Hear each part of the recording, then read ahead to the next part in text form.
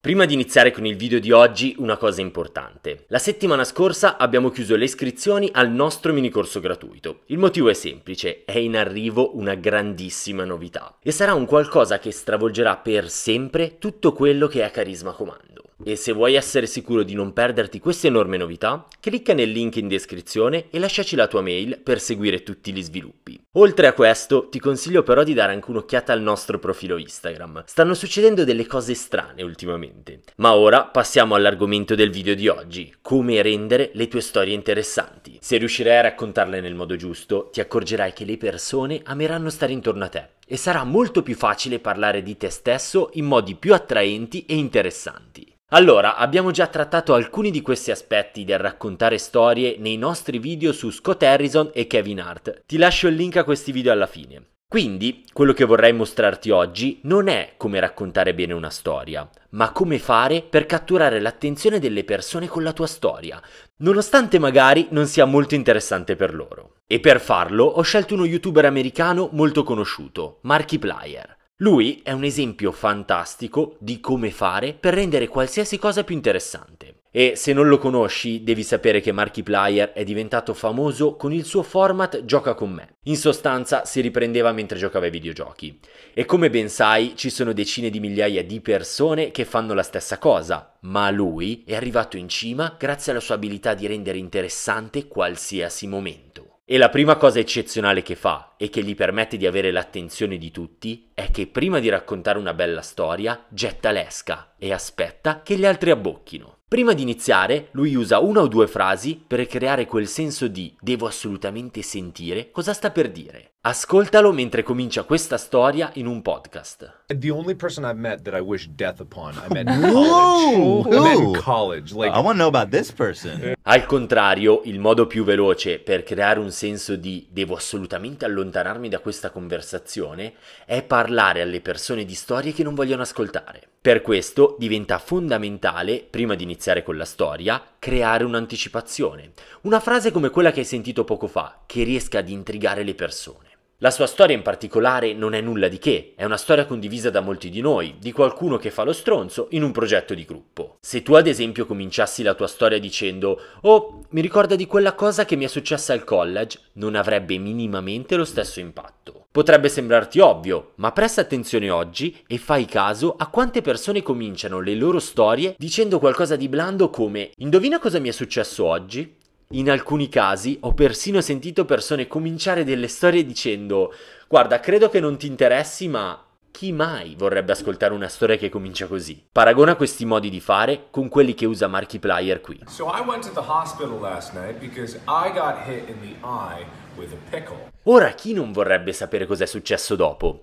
È importante cominciare la tua storia gettando l'amo, con una frase d'anticipazione che crei interesse e curiosità. La seconda cosa che possiamo prendere da lui non ha nulla a che fare con quello che dici, ma come lo dici. I, you know, I, I've run the gambit of the emotions of like, oh, this is new and exciting to, oh, I miss the old days to, oh, you've changed, Markiplier, how could you do this to us? Non ti sto suggerendo di arrivare all'estremo come fa lui, semplicemente prendi quello che stai attualmente facendo quando racconti una storia e aumenta la sua intensità. Noterai che sarà molto più facile mantenere l'attenzione di un gruppo. E nello specifico, quando magari la tua storia è un po' lunghetta, usa tutta la tua estensione vocale e prova a cambiare anche la velocità con cui parli. And I'll never stop trying new things until I find the one thing that makes me really excited. And then the next day that might be gone and I'm on to something new. Come vedi non ha fatto nulla di esagerato, ha semplicemente usato la sua voce per rendere più divertente qualcosa che invece sarebbe stato noioso. Passiamo ad un'altra clip in cui fa ridere le persone. Ascolta le sue parole e basta, non ci sarà nulla di divertente eppure le persone ridono. Ti do un contesto così capisci al meglio la clip. Si tratta di una diretta di beneficenza che Mark ha fatto in cui cercava di indossare il maggior numero di magliette possibili. You're really, you're really refining your dad You bod here. gone for the, uh, the sleeveless. It's getting warm. Se avesse semplicemente detto qualcosa come Ehi amico, sta diventando troppo caldo, non sarebbe stato altrettanto divertente. E glielo vedrai fare anche nella prossima clip. Quella cosa di enfatizzare una parola allungandola e pronunciando la voce più alta è una tattica ricorrente che utilizza. All'apparenza sembra qualcosa di banale, perché è qualcosa di davvero semplice. ma ti garantisco che rimarrai sconvolto di come ti aiuterà a mantenere l'attenzione di tutte le persone che ti ascoltano. Ora andiamo su un altro esempio di come Mark rende qualcosa più interessante cambiando semplicemente più volte la sua voce. Devi sapere che più di 17 milioni di persone hanno visto questo video e più di 150.000 persone hanno messo mi piace. Ed è semplicemente un video in cui Mark clicca opzioni a caso e ne commenta il risultato. Very clever with your dimensional joke there. Glue! What am I? Why? Why? Oh.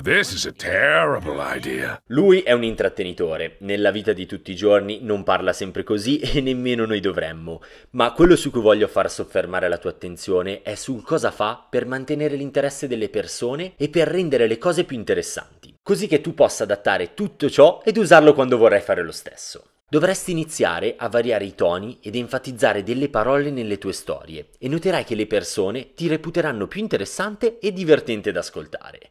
Se non mi credi, registrati mentre racconti una storia in modo monotono e poi registrati mentre racconti una storia in cui ti sembra di aver reagito in modo esagerato. Dopodiché confrontale e stabilisci quale delle due ti sembra più coinvolgente da ascoltare. Altra clip, fai caso a come Markiplier usa le pause e le diverse voci. Holy shit. Okay, so I made this video because I wanted to be creepy and I wanted to make a creepy. Pensa che alcuni studi portati avanti da degli scienziati dell'Università di Glasgow hanno scoperto che più sei monotono quando parli, più attiverai la voce interiore dei tuoi interlocutori. Se sei monotono quindi perdi l'attenzione e le persone ti ignoreranno sostituendoti con la loro voce interiore che è più interessante. Un'altra cosa che fa spesso Markiplier è ispirare emozioni. Ne abbiamo già parlato in un nostro video vecchio su PewDiePie, ti lascio qui il link in alto e in descrizione.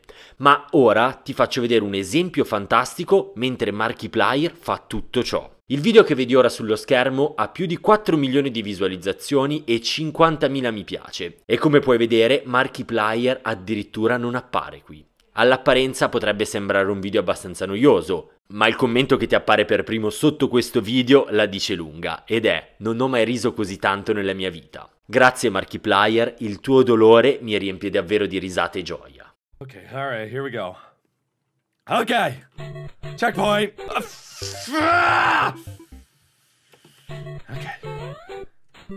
Okay. Okay, all right. Let's jump on the first one.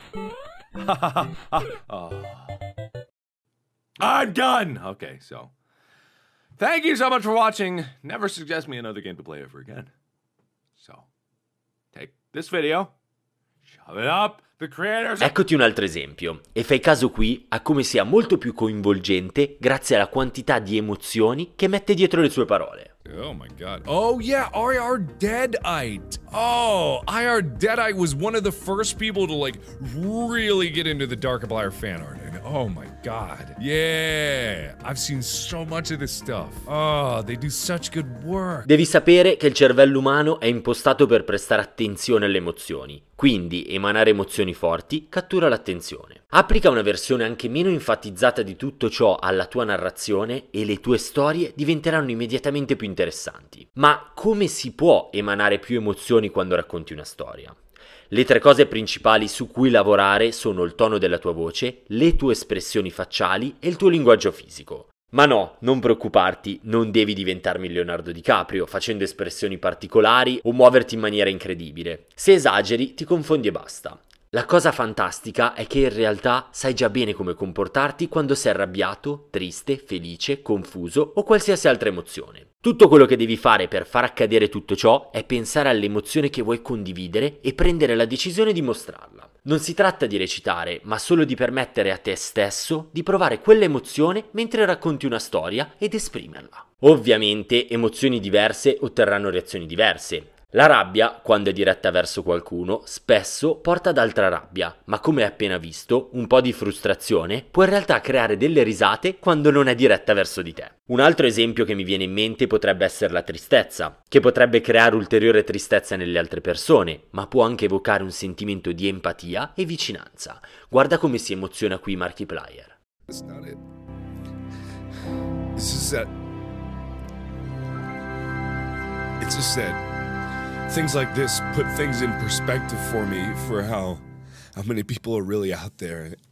Puoi capire che per tante persone che l'hanno visto, la disponibilità di Markiplier nel mostrare le sue emozioni le ha fatte sentire più vicine e più connesse a lui. Ora, lo ammetto, probabilmente non vorrai fare una cosa del genere nei primi 5 minuti dopo aver incontrato qualcuno, ma ho visto un esempio meraviglioso di tutto ciò nelle mie lezioni di improvvisazione qualche settimana fa. C'era questo ragazzo Jay che stava recitando un monologo creato sul posto, parlava del cane della sua famiglia che se n'era andato.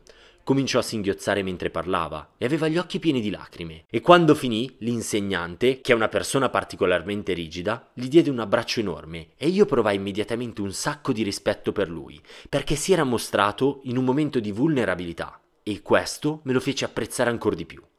Detto ciò, nella maggior parte dei casi l'emozione che vorrai esaltare sarà la felicità o l'eccitazione e il modo più semplice per farlo, come avrai già capito, è semplicemente emanare felicità ed eccitazione. Guarda questa clip e fai caso a quanto sia coinvolgente, soprattutto grazie alle reazioni emotive di Markiplier. this is uh I wanted to oh geez. I wanted to have like a sense of professionalism in my videos, which I don't know why I wanted. I didn't want that at all. Oh, I was so nervous. Oh god, I was so nervous. Action quality on my vlog so that they're not just What V whoa! Per molte persone è difficile, se non impossibile, non ridere quando qualcuno mostra così tante emozioni positive. Non importa di cosa tratti la tua storia, ma sicuramente le gioverà avere delle emozioni da parte tua, condividendo le emozioni che hai provato mentre ripercorri quei momenti. Facendo un recap, quello che dovrai fare per attirare l'attenzione delle persone mentre racconti una storia è primo, gettare l'esca prima di tuffarti.